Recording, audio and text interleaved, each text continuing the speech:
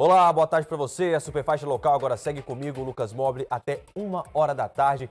Feriadão, né, meu povo? Feriadão. Já almoçou? Eu tô aqui morrendo de fome, mas daqui a pouquinho a gente começa a feriadar por aí, viu? Vambora, JL no ar, depois de dois anos sem aquela grande celebração. A festa de Nossa Senhora volta a ser realizada na esplanada dos ministérios, onde está o Vitor Gomes. Boa tarde, Vitor.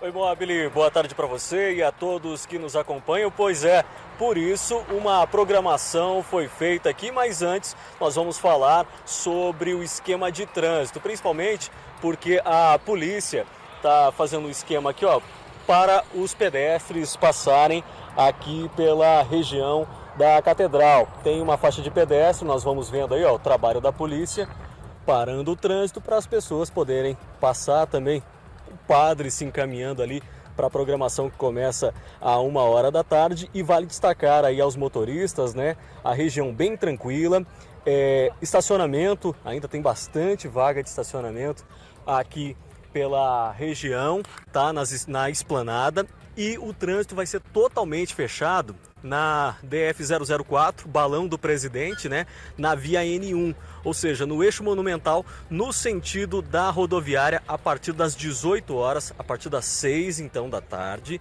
Presta muita atenção, motorista, para evitar essa região aqui, porque vai ser fechado para a celebração ser feita aqui no eixo monumental próximo à catedral. Daqui a pouco a gente volta com mais informação, trazendo também a programação para vocês. Sigo com você, Mobile. Valeu, obrigado. Vitor Gomes está então a tão tradicional festa de Nossa Senhora Aparecida, né? Padroeira do Brasil, padroeira de Brasília. Daqui a pouco a gente volta então mostrando toda a programação na esplanada dos ministérios.